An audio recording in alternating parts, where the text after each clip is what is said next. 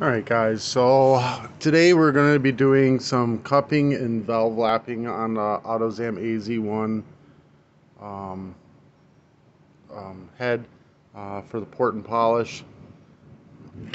Um, we're going to be taking the valves out to get underneath of them. This is kind of a dangerous spot because if you mess this up, the valve will never seat again right there's the valves where the valve seats. So if you hit it on this one and you gouge it out you know like a little scratch is gonna be fine because we're gonna relap the valves anyways. But if you gouge this it's it's really really not a good thing. So all right hold on. Let me first let me show you the parts. These are the keepers the valve spring and this is the top. So very simple to get these out. Let me show you how easy. You gotta be careful, do not lose these. Although those look like they are probably the same as like a, a Honda lawnmower motors. Um, I have a bunch of them, like even the Kawasaki's. It's it's very very similar. So I think that I could find them if if I had to let me get you set up on the phone holder here. All right, let me show you how easy it is to get these out. And when I go to put them back in, which will be tomorrow, like I'm hoping to get my valve spring compressor in. But basically what we're gonna do is we're gonna put a socket on top. This is like about 5 eighths or it's just gonna fit on top there basically. And you're gonna give it a good tap. Just like that And it comes right apart. The keepers will fall in. There's one there and one fell in. And I'm only going to do this one row at a time so that I don't get the valves confused. I want to put the valves right back in the hole they were. That way all I got to do is a, a minor lapping job. Alright, that simple. Alright, let me pause you.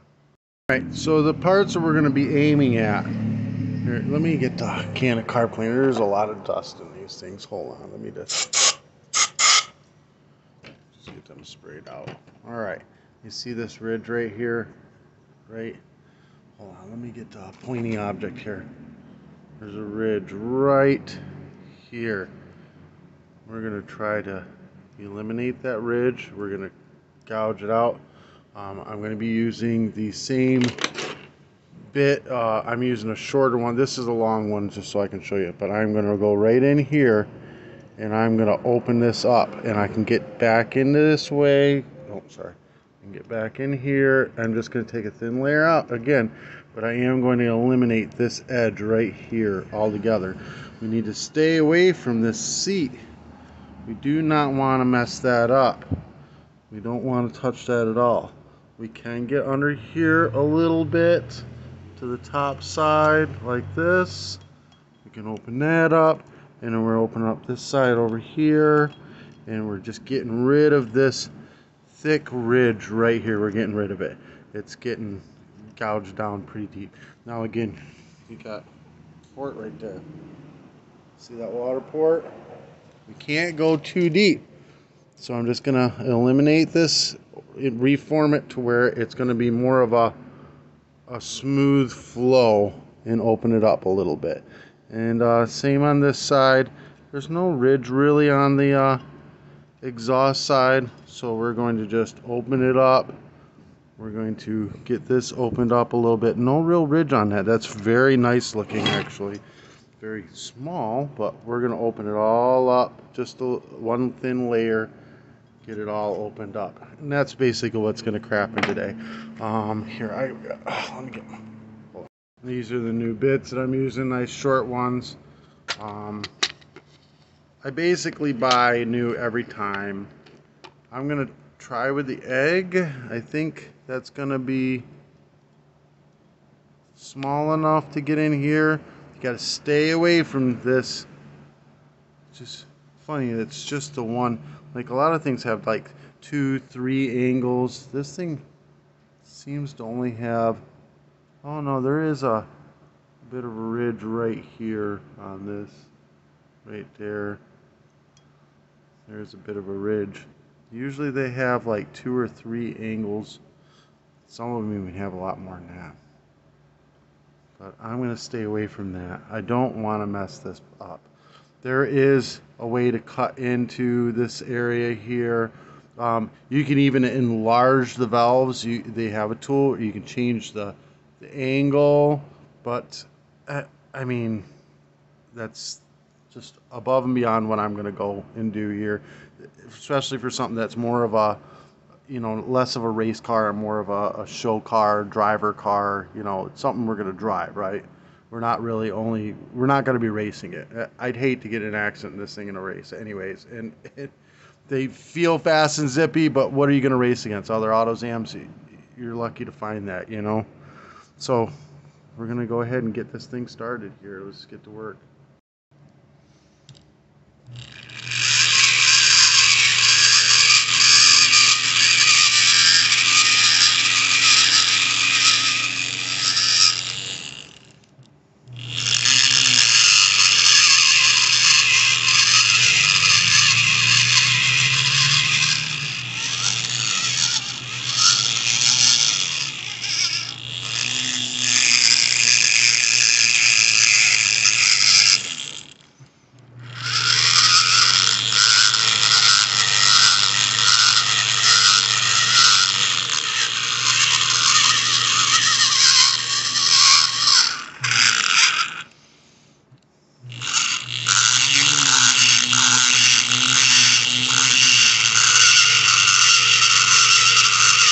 Notice I'm keeping it very low RPM.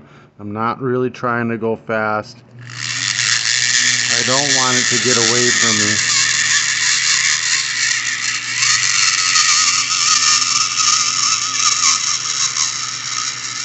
I'm just kind of reshaping this.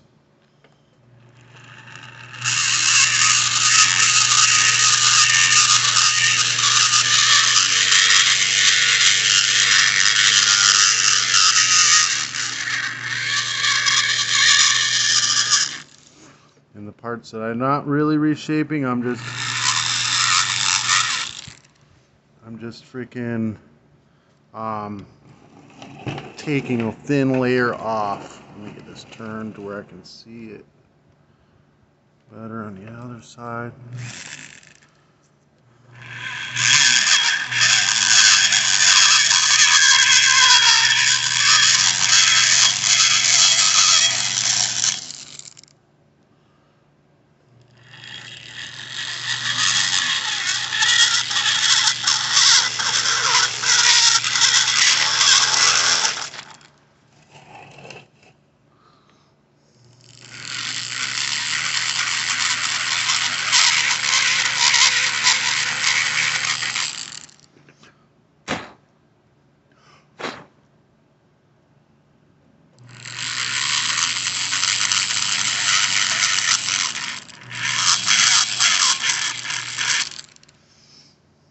And then I have to be able to get into this with this, you know, and polish it out too.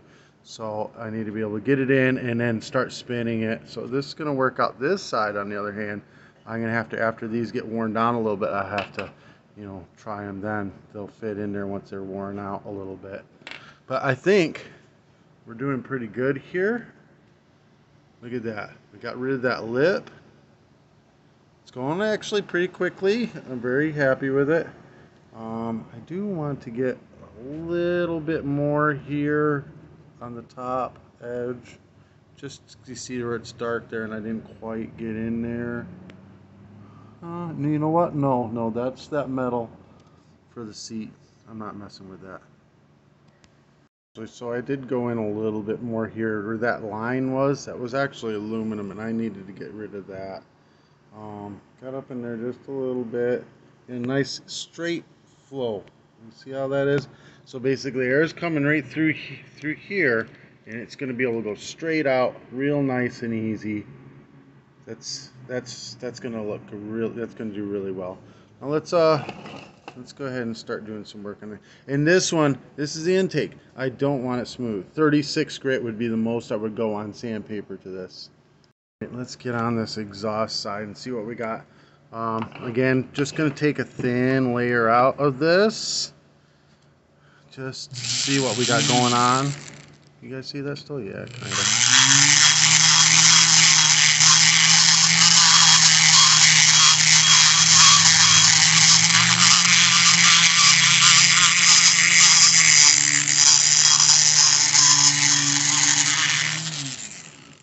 Just kind of reform it.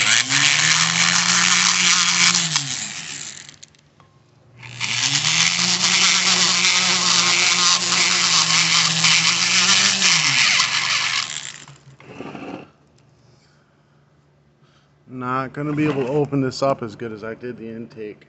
Which kind of sucks. I really wish I could make a big difference, but it's just not gonna happen like I want it to. Try to find an angle that I can grind on this and you guys can still see.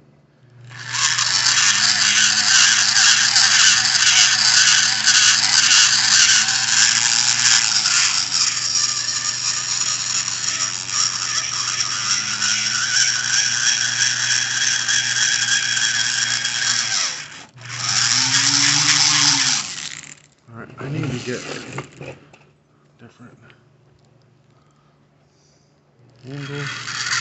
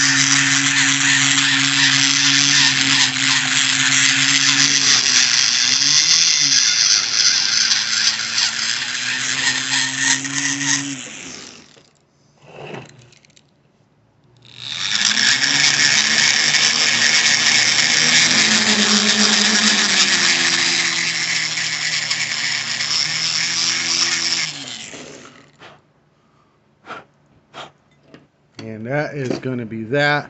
Now I am going to get up in here. See, there's a bit of ridge there. Um, I'm going to hit it with a polisher. I don't like that at all. So we're going to get in there with the polisher and just work them lines a little bit. Um, and then that should be pretty much that.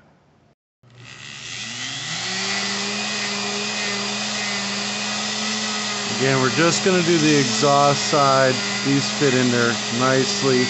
I'm going to chew through them very quickly, I think. That's alright. They're cheap. $20 for a bunch of them. So, I don't care about that. Be careful, don't get in that seat at all.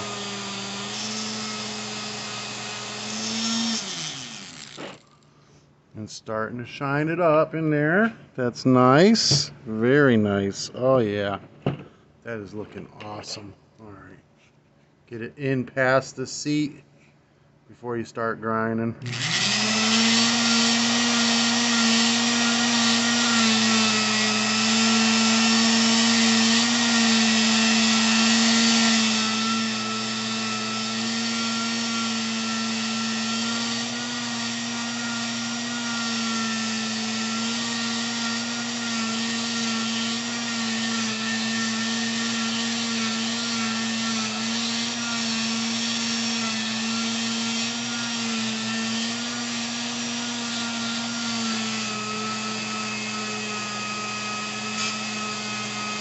Careful. And then also this top here.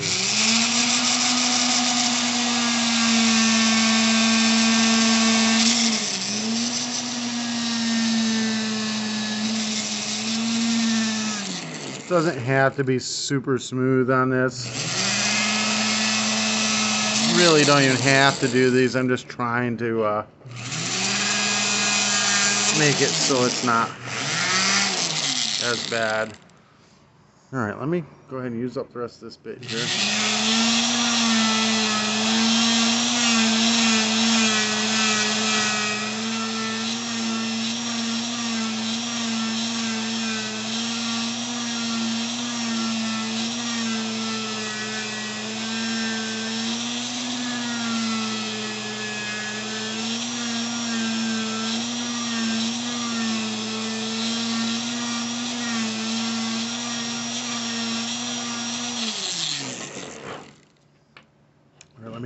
Next size up. I think it's yellow, green, red, black. We're gonna try to get this thing in there.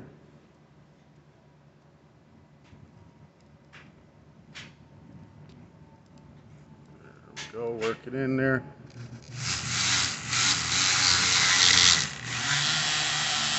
There it goes. Takes a bit, you gotta wear it down real quick.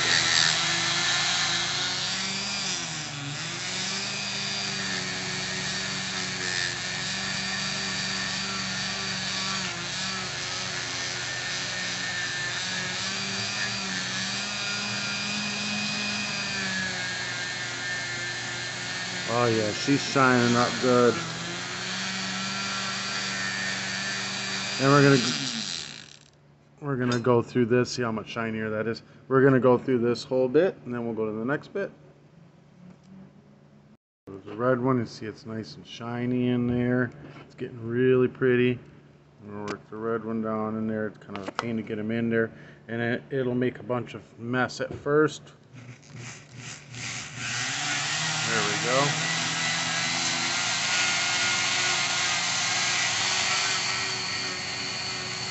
Another layer, another bit shinier.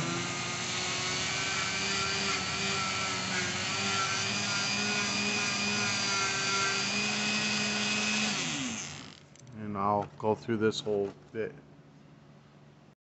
And then we're going to get into the black one. We get it shoved in there. And we're going to work that one out.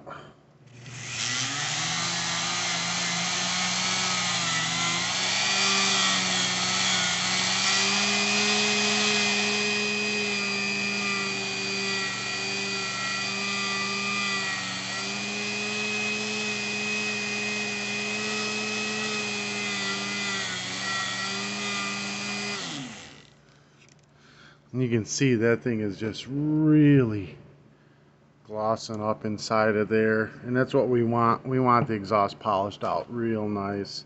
Just as good as we can get it, really. So I'm going to go through this whole bit here. And that'll be the end of the this one set of intake and exhaust valves, uh, except for the lapping it in, which I'll do next.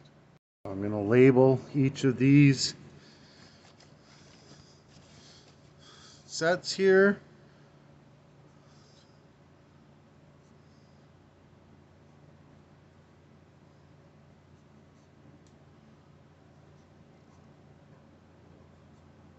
That way I know what ones are what. So this is bag number one. So I know what valves go where, because I'm gonna have to take all these out and and do all of these, and then I gotta relap them all in, um, you know, and then put them in. And I wanted to use the same same set that came out of the cylinder. So I'm gonna go ahead and oh, how many? How much time is on this video here? All right, I'm gonna stop this video. I'm at 20 minutes on this video. Um, hopefully that that's the cupping of the of the head. Um, hopefully that helped you out. Uh, if it did in any way, shape, or form, give me a thumbs up. Hit that subscribe button. Um, I'm going to shut this video off and do another video of the lapping the valves in, so you can get an idea how you lap the valves in. Um, and then I'm going to go down through the line and do all these. All right, make sure you guys hit that subscribe button. If you want to do any advertising, message me. Peace.